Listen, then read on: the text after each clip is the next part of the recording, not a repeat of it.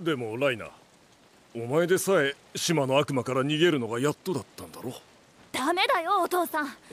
凶悪で残虐な悪魔たちの住む島に5年も潜入してたんだよ。どんなに辛い目にあったか機密情報じゃなくたって言えないよ。そうだな。我が老いよ。悪かった。いや話せることもある。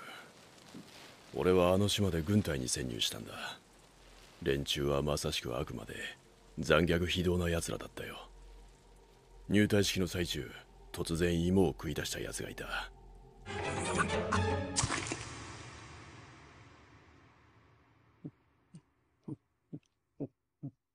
教官が咎めると悪びれる様子もなく答えた。サシャ・ブラウス貴様が右手に持っているものは何だ？ふかした芋です調理場にちょうど頃合いのものがあったのでつい。貴様盗んだのか？なぜだ？うまそうだから盗んだと。なぜ今芋を食べ出した？冷めてしまっては元も子もないので今食べるべきだと判断しました。そんな悪党だがさすがにまずいと思ったのか。芋を半分譲ると言った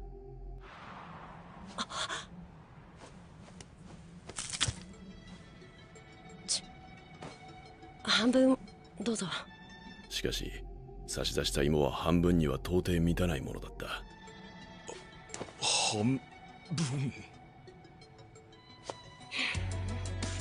奴らに譲り合う精神などないからな。本当にどうしようもない奴らだった。便所に入るなりどっちを出しに来たのかを忘れるバカだったり自分のことしか考えてねえ不真面目な奴に人のことばっかり考えるクソ真面目な奴突っ走るしか頭にねえ奴に何があってもついていく奴らだったりそれにいろんな奴らがいてそこに俺たちもいた。そこにいた日々はまさに地獄だった。